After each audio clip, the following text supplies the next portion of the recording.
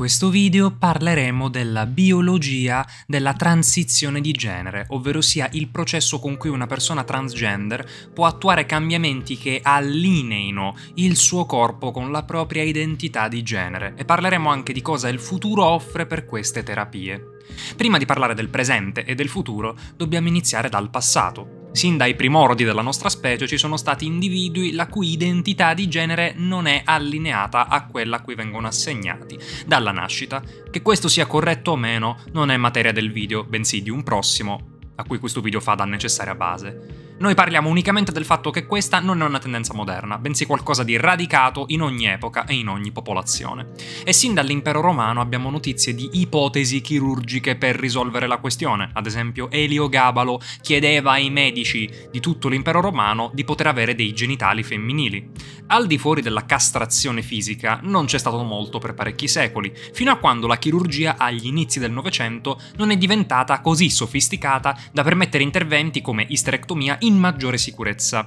È in questo contesto che conosciamo Lily Elb, chi ha visto la Danish Girl sa di chi parlo. Non certo la prima donna trans, ma la prima donna trans a subire un intervento di transizione. Rimozione dei testicoli, rimozione del pene, creazione di una vagina artificiale e trapianto di utero e ovaie. Morì poco dopo l'operazione, perché diversi di questi interventi sono estremamente difficili ancora oggi, come vedremo.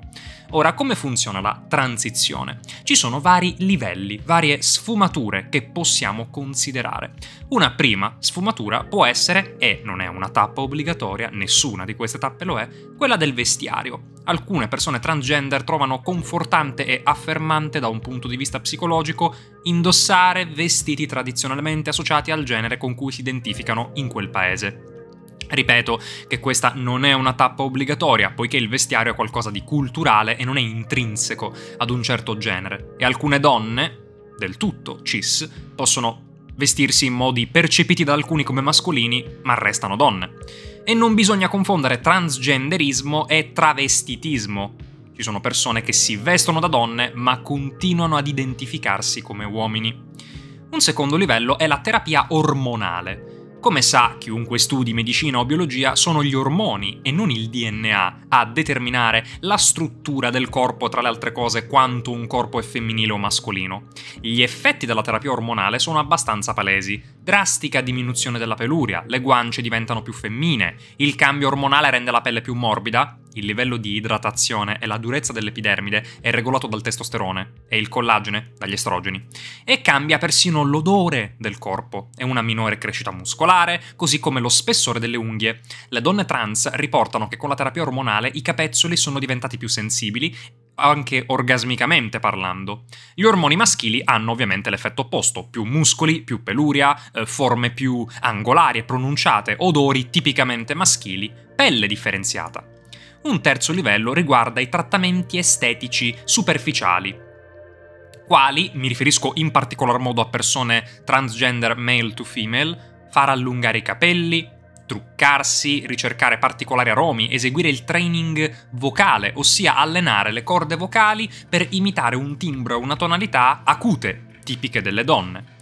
Per secoli tutto questo era essenzialmente tutto ciò che una persona transgender poteva fare, poiché l'intervento di transizione non era pensabile.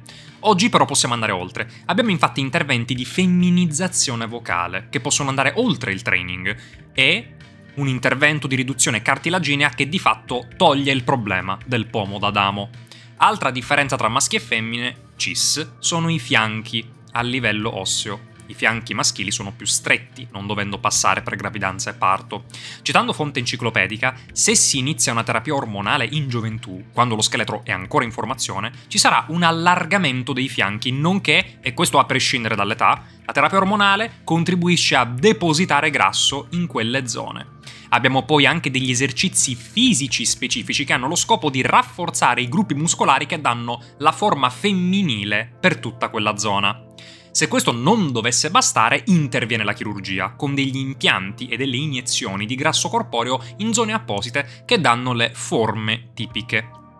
Passiamo alla chirurgia estetica, che mira a modificare l'aspetto del corpo senza agire sui genitali. Abbiamo interventi plastici che modellano la mandibola, il naso, le guance per dare un aspetto tipicamente femminile. Queste sono cose tutto sommato leggere, tipo la rimozione della peluria con il laser, il trapianto di capelli per sistemare l'attaccatura frontale. Ricordiamo che l'alopecia androgenica, la calvizie, potrebbe addirittura essere tamponata, perché senza l'azione testosteronica i capelli possono recuperare.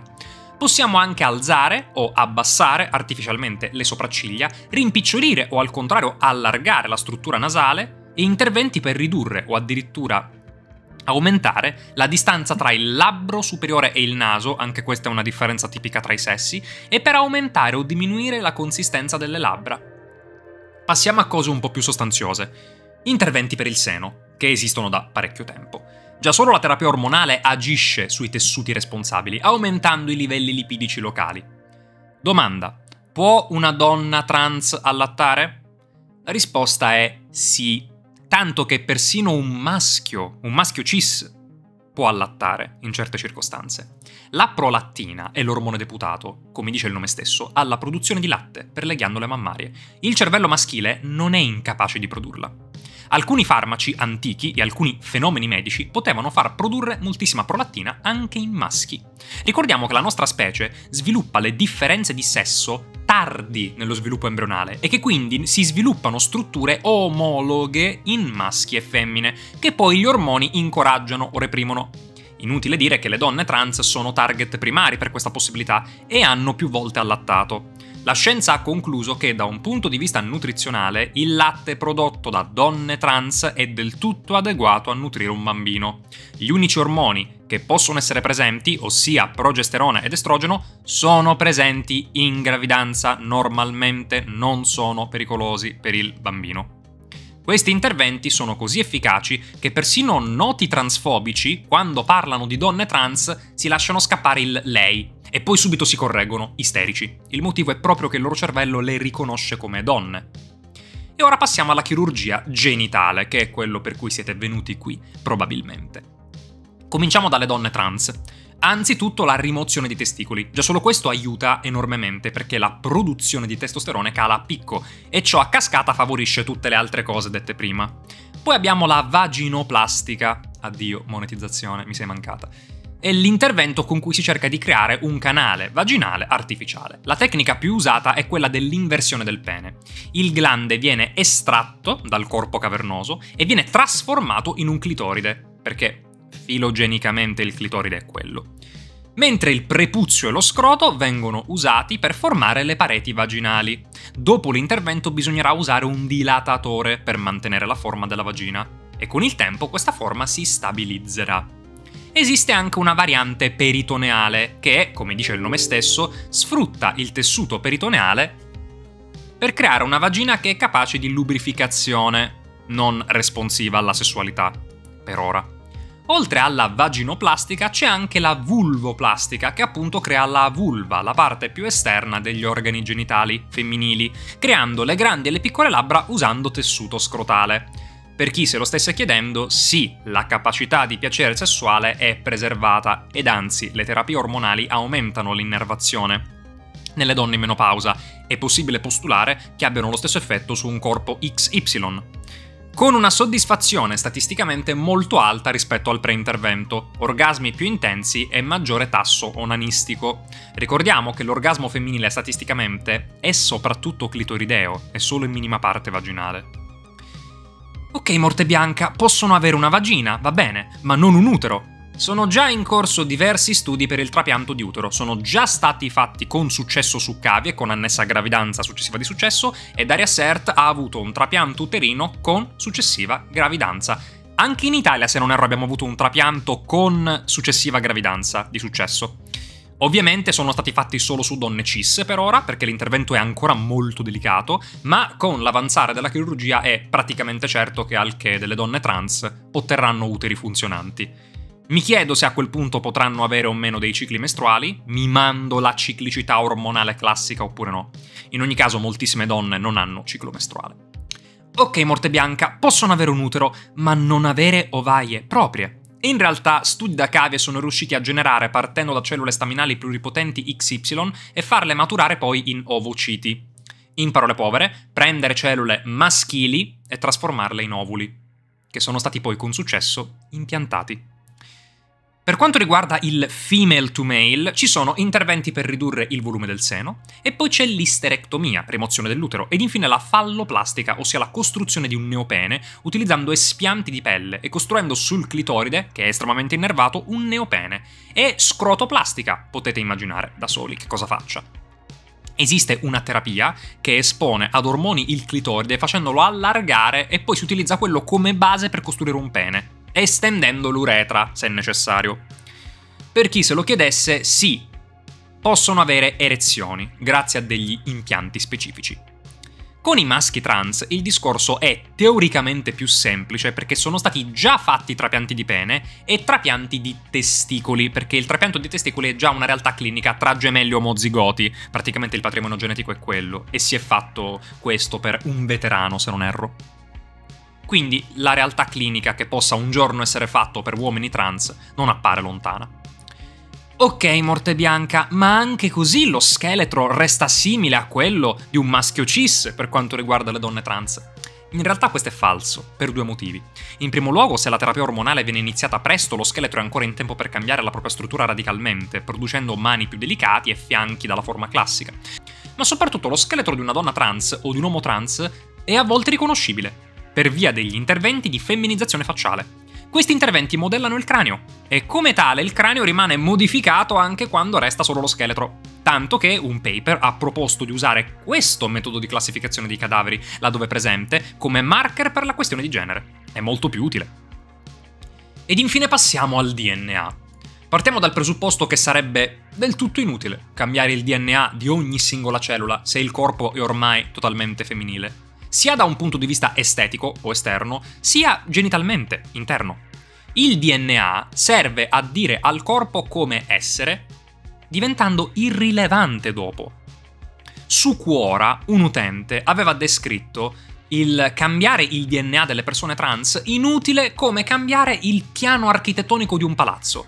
Cambia il palazzo, chi se ne frega del piano architettonico originale. Sconsiglio dunque di inseguire i transfobici nel loro giochetto di scaricabarile. E allora la vagina, e allora l'utero, e allora le ovaie, e allora i cromosomi. Non è un gioco che potete vincere perché non si può vincere con chi bara e ha deciso in partenza che non intende riconoscere la realtà. Fosse anche possibile cambiare il DNA, direbbero: beh, non è il DNA con cui sei nato. Fosse possibile tornare indietro nel tempo e cambiare retroattivamente il DNA al neonato, direbbero: non è il DNA della linea temporale originaria. Non si arrenderanno mai. A dimostrazione di ciò, se tu magicamente cambiassi il DNA di ogni singola cellula di una persona transgender, a livello fisico non cambierebbe niente, né a livello genitale né gonadico. Il DNA è inutile a questi fini, dopo lo sviluppo embrionale. Infine, cambiare il DNA è inutile perché tutto il concetto di terapia di transizione è dovuto al fatto di diminuire la disforia e far sentire bene, a proprio agio, le persone transgender. Una persona transgender può dare grande importanza a cosa ha tra le gambe. Io non ho mai conosciuto una sola persona transgender a cui freghi qualcosa dei suoi cromosomi. Quelli interessano di solito a chi li vuole morti. Ma comunque chiediamoci, è possibile cambiare il DNA di una cellula? Sì, con CRISPR possiamo eh, cambiare i geni che vogliamo. È possibile cambiare il DNA di più cellule? Sì, succede anche naturalmente a un sacco di persone mosaicismo, quando un ceppo di cellule muta e si riproduce, ottenendo un pezzo del tuo corpo che ha un DNA radicalmente diverso dal resto del corpo. C'è un mosaicismo specifico in cui si perde il cromosoma Y per le cellule emopoietiche. Sono stati fatti trapianti di tessuti in cui si prelevano delle cellule, si cambia la linea genetica e poi le nuove cellule vengono reinserite. In effetti qualcuno che ha subito un trapianto avrà, per definizione, moltissime cellule dal DNA radicalmente nuovo.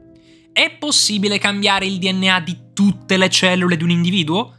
Sì, se lo si fa quando è ancora un embrione. Le cellule sono poche, è possibile cambiare il DNA di tutte loro, e quindi quelle cellule si riprodurranno e avremo un essere che ha un DNA al 100% modificato. Si può cambiare il DNA di tutte le cellule di un adulto? Al momento non è mai stato fatto. Il problema è che noi cambiamo il DNA di cellule specifiche, usando specifici vettori per quelle cellule e non altre ma in futuro dei nanodroidi potrebbero essere in grado di cambiare il DNA di ogni singola cellula. In ogni caso, studiate come reagisce il DNA a livello di metilazione alla terapia ormonale. Rimarrete sorpresi. Morte bianca, io sono contrario a queste terapie perché hanno dei rischi. Questa è un'obiezione decisamente stupida e nasce dal fatto di non avere la più pallida idea di come funziona la medicina. In medicina ogni intervento e ogni farmaco ha dei fattori di rischio. Non esiste la medicina perfetta. Secondo questo ragionamento l'intera medicina andrebbe abolita. Ma no, ogni uomo, ogni donna decide, una volta informato dei rischi, se procedere o meno. Semplicemente, nell'analisi costi-benefici, sono molto maggiori i benefici dei costi dei rischi. E nella fattispecie, le persone transgender hanno dei tassi di patologie mentali e di suicidio infinitamente più bassi dopo queste terapie. Affermare che si vuole rendere illegale questo intervento per il loro bene significa mentire sapendo di mentire, perché togliendo questi interventi queste persone stanno peggio, non meglio. Morte bianca, e che mi dici di chi si pente dell'intervento? Di nuovo, ogni singolo intervento chirurgico ha dei tassi di pentimento, non è una buona ragione per renderlo illegale. Se accetti di farlo, accetti anche le conseguenze. Ma comunque ricordiamo che i tassi di pentimento per le terapie transgender sono forse l'intervento con il tasso di regret più basso della storia della medicina. Secondo la meta-analisi, come vi ho spiegato la meta-analisi è lo studio più importante che si può fare, del 2024 di Thornton, sono meno dell'1%. Meno dell'1%. E vi do un dato. Questo meno dell'1% non vuol dire quasi mai io non voglio più essere trans. Bensì, nella maggior parte dei casi, stando agli studi, sono persone ancora trans che semplicemente smettono di fare terapia perché dicono che subiscono così tanto bullismo e pressioni che preferiscono tornare a nascondersi. Se i transfobici volessero far diminuire davvero il regret rate, dovrebbero lasciare in pace la gente. Ma è esattamente quello che vogliono questo. Ricordiamo che i puberty blockers vengono prescritti anche a ragazzi cis che hanno pubertà precoce, da un sacco di tempo. Se ci fossero prove di abbassamento di QI, sarebbero già stati banditi, ma non ci sono evidenze di questo. E ancora oggi l'unica review mai prodotta a dire il contrario, senza prove, eh, semplicemente dicendo non ci sono prove che sono sicuri e facendo una correlazione senza causazione di abbassamento di QI su una campionatura minuscola, che è una cosa sbagliatissima. Indovinate chi l'ha fatta questa review? Baxendale, che, per pura coincidenza, scrive per il giornale conservatore Unheard, che è estremamente critico per quanto riguarda la questione transizione di genere, e che sempre per pura coincidenza si è lamentata che le riviste di peer reviewing rifiutano di ospitare i suoi studi fatti male. Le coincidenze, succedono le coincidenze. Ok, Morte Bianca, hai vinto tu. È legittimo che queste persone facciano l'intervento. Ma i pampini. Nessuno pensa ai pampini. Per me i pampini non devono poter fare interventi e bisogna renderli illegali. Bufala! I bambini non possono fare questi interventi! È una bufala che è stata smentita un sacco di volte! Le linee guida mediche sono chiarissime, nessun paese pratica interventi di transizione sui bambini. Questa è una delle più grandi bufale della storia, propagata da siti di estrema destra che distorcono persona giovane con bambino e distorcono assistenza psicologica con intervento chirurgico che diventa, nel titolo dell'articolo, hanno castrato i bambini! Tradotto, 22enne andato dallo psicologo. Tutto in maiuscolo, ovviamente. Nessun essere umano prima della pubertà, definizione di bambino, può ottenere alcun tipo di intervento, solo assistenza psicologica. Esami per capire se è effettivamente disforico o meno. Solo una volta che la pubertà è avviata si possono usare farmaci. La società endocrinologica proclama che per i puberty blockers bisogna aspettare la pubertà, per gli ormoni devono essere almeno di 16 anni prima di iniziare la terapia ormonale e per la chirurgia o 18 anni o non se ne parla proprio. Anche perché si è visto che la disforia nei bambini raramente persiste in età adulta, mentre negli adolescenti il tasso di persistenza è molto alto non solo. Prima di fare qualsiasi cosa serve uno screening psicologico per assicurarsi che il paziente sia seriamente disforico e non semplicemente una cosa passeggera. E in diversi paesi serve il consensus pure dei tutor legali. Quindi di che stiamo parlando? Del nulla. Vabbè, morte bianca, adolescente, bambino, stessa cosa. No, non lo è! No, non lo è! Un neonato non è in grado di capire se il giocattolo esiste ancora quando non lo vede. A sette mesi, sì. A due anni inizia a parlare. Dai tre anni iniziano a distinguere realtà da fantasia. Dagli otto anni gli scienziati dicono che possono usare i computer. Verso i 12 anni inizia la pubertà e i desideri sessuali si strutturano. A 14 anni in Italia c'è l'età del consenso e molti propongono il voto per i sedicenni. Asserire che dallo spermatozoo ai 17 anni e 11 mesi non cambi niente a livello mentale e di responsabilità è pura e semplice schizofrenia. I diciassettenni sono e come in grado di acconsentire già oggi a diversi interventi chirurgici, cose ben più pesanti di qualsiasi terapia ormonale. E ricordiamo che le terapie fanno mostruosamente calare le patologie mentali, il rischio di suicidio e aumentano ad altissimi livelli la felicità. Quindi sì, c'è un effettivo e terapeutico bisogno e i medici non è che autorizzano le cose a cazzo di cane, ci lavorano, ci studiano a lungo prima di prendere una decisione. La meta-analisi del 2022 conferma che se la disforia persiste durante la pubertà, allora è permanente. Esattamente come per il video sull'omosessualità, io vi metto in guardia da omofobi e transfobici, che cerripiccano le pochissime ricerche che parlano di malessere, classiche no, fatte tra gli anni 60 e gli anni 80, prima red flag, in Texas, seconda red flag, con le conversion therapies e altre torture imposte con tutti che dicevano alle persone transgender smettila, smettila, smettila ogni singolo giorno, oh, guarda caso, dopo un po' loro smettono, ops, Ricordiamo infine che i puberty blockers sono scientificamente considerati reversibili. Ripeto, signori, non basta che uno studio fatto in Texas dalla Protestant and Donald Trump University dica una cosa, servono tanti e tanti studi. Quando ci saranno tanti e tanti studi, io sarò il primo a dire ok, cambiamo le linee guida perché quel farmaco non si può più usare, usiamone un altro. In medicina funziona così. Non funziona che alla prima segnalazione si strilla e si chiude tutto prima di strillare, controllate chi ha fatto lo studio, in che anno, per quale istituto, quale campionatura, che metodologia e se ci sono problemi o conflitti di interesse. Se no, stiamo ancora qui a sentirci lo studio di, della Donald Trump University. Ogni cosa nell'adolescente, come nella vita, ha dei rischi. Giochi a calcetto? Rischio fratture, anche irreversibili. Mangi? Rischio avvelenamento non possiamo vietare una pratica a dei diciassettenni solo perché c'è un rischio. Perché rendere illegale una terapia, nonostante ciò, comporterà il rischio altissimo di suicidio. E questo per qualche motivo ai transfobici va bene, sappiamo benissimo perché gli va bene. Mentre permettere una terapia con enormi controlli non va bene? Eh, questa è ipocrisia, contraddizione, fatalissima contraddizione. Ma in realtà c'è una mistificazione. Gli effetti della terapia dei puberty blockers sono, come ho detto, classificati come reversibili, tanto che all'istologia testicolare, 8 mesi dopo aver smesso la terapia, è indistinguibile dall'inizio della terapia.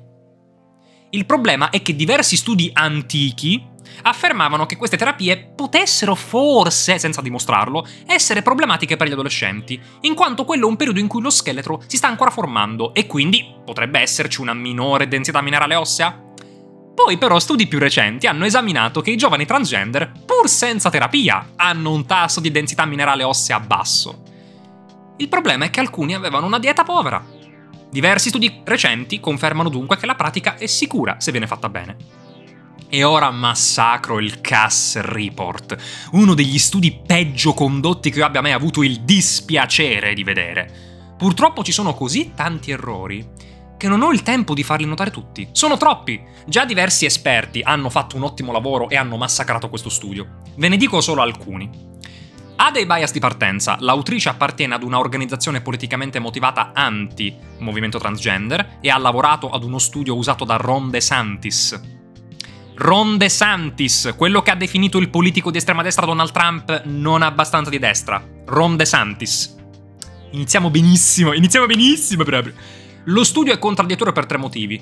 Ha completamente rigettato più di 100 studi che sono dei pilastri della medicina, dicendo che non sono abbastanza precisi, secondo un criterio tutto suo che è rigettato dalla comunità scientifica. In secondo luogo, lo studio proclama di voler proteggere i bambini, ma in realtà condanna la terapia prima dei 25 anni. Sulla base di niente. Vi ricordo che a 25 anni potete votare, scopare, sposarvi, fare figli. Vi linko un video di questa youtuber che ha veramente distrutto il report. Ma come, scusa? Dici che non si possono fare affermazioni basate su 100 studi perché, eh, non sono abbastanza? E poi sulla base di niente raccomandi minimo 25 anni? Neanche uno studio portato dal Cass Review porta prove che i puberty blockers siano pericolosi. Neanche uno! Terza contraddizione. Lo studio non sembra aver compreso gli studi che citava. Nomina diversi studi, definendoli inconcludenti, cioè risultato non chiaro, anche quando erano concludenti. Ci sono gli screenshot come prova. 4. Lo studio pretende di considerare tutto, persino il riconoscimento dell'identità di genere dell'adolescente, come intervento e come tale da scoraggiare, mentre ignorarlo non è considerato avere un effetto interventistico. Non solo, lo studio pretende che gli studi siano RCT, cioè Randomized Control Trials. Il problema è che questa cosa, come è stato detto infinite volte, non si può fare con degli adolescenti in questo contesto. Perché per fare questo tipo di studi bisognerebbe creare due gruppi, uno che riceve la terapia e uno che non riceve la terapia, senza consapevolezza. Il problema è triplice. Nessuno vuole partecipare perché una persona transgender vuole fare terapia prima possibile. C'è un selection bias, chi vuole partecipare non ha una necessità fortissima di fare transizione. Campionatura sbagliata ed è stato dichiarato persino non etico. Diversi studiosi hanno addirittura detto che potrebbe essere fisicamente impossibile pur volendo, perché banalmente si capisce se il mio corpo cambia e quindi se sto nel gruppo sì o nel gruppo no, e ciò influirà sull'esito. Riassunto di tutte le nostre evidenze. Le terapie per il cambio di espressione di genere sono estremamente efficaci e necessarie, funzionano, non sembrano avere alcun tipo di rischio e sono applicate su base volontaria e adulta. Le terapie per adolescenti sono applicate con criteri severissimi e del tutto reversibili. Ciò è confermato dal consensus degli enti scientifici deputati, a dire che sono tutti corrotti è praticamente terapiattismo, e dalle meta-analisi e gli studi a lungo termine. Gli studi dicono che tutto questo è vero e i pochissimi studi che dicono il contrario sono appunto pochissimi, vecchissimi e hanno evidenti bias ed errori. Questi sono i fatti, questa è la logica. Condividete questo video quando qualcuno ha dei dubbi.